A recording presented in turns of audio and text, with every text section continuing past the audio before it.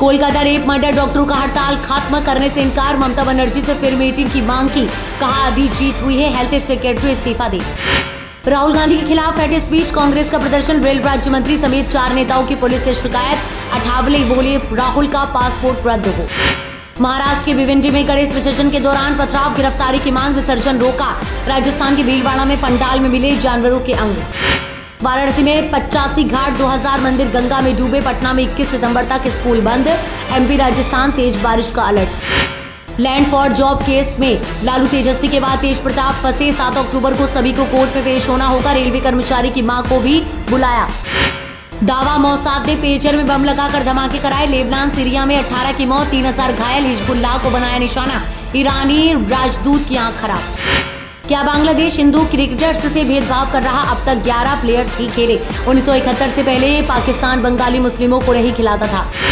मंत्री बोले, मेहमान बनकर आए, घर पर कब्जा कर लोगे क्या? उदय प्रताप ने कहा, अतिथि शिक्षकों का नियमितीकरण क्यों होगा? पीसीसी चीफ बोले, माफ़ी मांगे। इंदौर में राष्ट्रपति को परोसा जाएगा बिना प्याज, लहसुन का खाना सैंडविच रोटी, सिर्फ़ मल्टीग्रेन आटे की थ्री लेयर में रहेगी सिक्योरिटी। महिलाओं के कपड़े पहनकर डकैती, पुलिस ने सर्वेयर बनकर पकड़ा। मंदिर से 10 किलो चांदी आभूषण लूटने वाले बदमाश राजस्थान से गिरफ़्तार। अनंत चतुर्दशी पर झांकियाँ देखने रात भर जागा इंदौर। 12 घंटे में 6 किलोमीटर चली 3000 से ज़्यादा जवान रहे तैनात। ड्रोन से निगरानी। इंदौर उज्जैन सिक्स लेन, जिसके लिए कल राष्ट्रपति करेगी भूमि पूजन, साढ़े बारह बारह मीटर चौड़ी रहेंगी दोनों लेन पैंतीस चालीस मिनट में तय होगी दूरी। दसवीं सेकंड बोर्ड परीक्षा के नतीजे जारी। तैतालीस हज़ार से ज़्यादा छात्रों ने दिलाई थी परीक्षा। सैंतीस हज़ार से ज़्यादा फेल केवल पंद्रह से उन्नीस फ़ीसदी पास हुए बच्चे। भोपाल में बाईस हज़ार मूर्तियों का विसर्जन, दूसरे दिन भी निकल रहे जुलूस, बास से फ्री गार्ड फूलों से बनेगी जैविक खाद।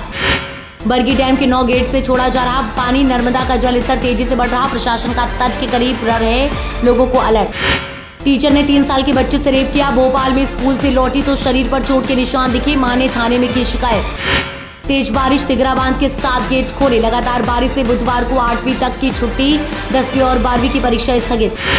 ग्वालियर में India Bangladesh T twenty match 6 अक्टूबर को स्टूडेंट दिव्यांगों के 900 टिकट बिके। 20 सितंबर से ओपन टिकट, पाँच हज़ार चार सौ बावन तक कीमत। भोपाल मेट्रो का दूसरा ब्रिज 200 टन बजरी 48 मीटर चौड़ा। डीआरएम चौराहे पर अक्टूबर में रखेंगे ऊपर से ट्रेन, नीचे से गुजरेगी गाड़ियाँ। पीएम मोदी अहमदाबाद में बोले, मेरा मज़ाक उड़ाया गया, मैं सरदार की भूमि में पैदा हुआ। बेटा चुपचाप देश हित में नीति बनाने में लगा रहा।